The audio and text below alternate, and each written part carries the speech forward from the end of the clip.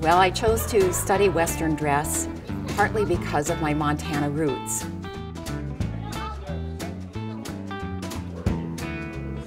Within the exhibit, you'll see a picture of me with my granddad, who was a Montana rancher, and my cowboy boots that I wore while I was a student in Montana State.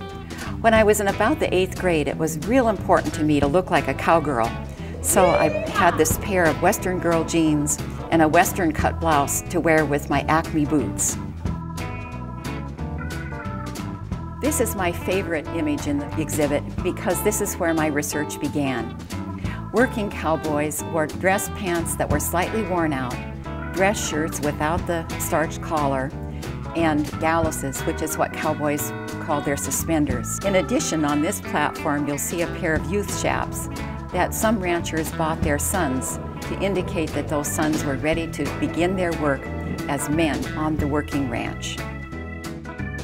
Western dress has come a long way from its functional roots to something that is truly flamboyant.